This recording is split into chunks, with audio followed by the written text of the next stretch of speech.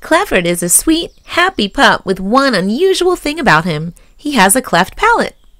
Because of that, he has a crooked smile. Clefford needed surgery to fix his cleft palate. He couldn't eat without pain. Clefford's original family loved him, but unfortunately they were homeless and couldn't afford to pay his vet bills, and so they decided to surrender him to the Angell Animal Medical Center in Boston. Happy go lucky Clefford quickly adjusted to life in the shelter. He was still sweet as could be, and he loved when people came up to his kennel to say hello.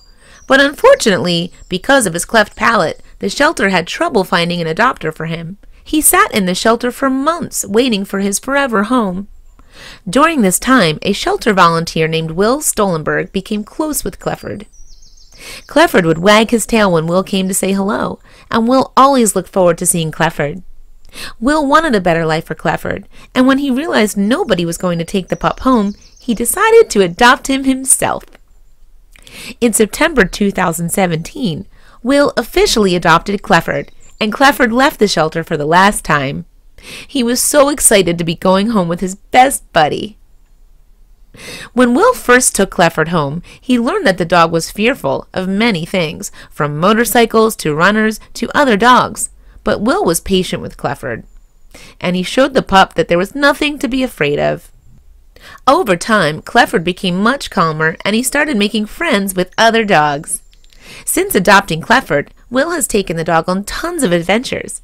Clefford loves sticking his head out the car window, and he's also a big fan of going on long walks. But his favorite thing to do is cuddling with his dad. Clefford is a very playful and loving dog and loves nothing more than to grab a toy and play with his favorite people, Will told the dodo. He will also paw at you when he's sleepy to let you know that he needs a blanket to snuggle in. Will has also sat by Clefford's side during his surgeries to fix his cleft palate. Clefford has had four surgeries and he's doing great. He now just has a small hole in his mouth. His nose will always be a little crooked, but it just makes him cuter. All the noises he makes are different from regular dogs because of his cleft palate. But other than that, he acts just like your average dog now, Stolenberg said. Thankfully, Clefford has no idea that he's any different. In my eyes, his story and unique face just make him a better pup. Please share it with your friends and family.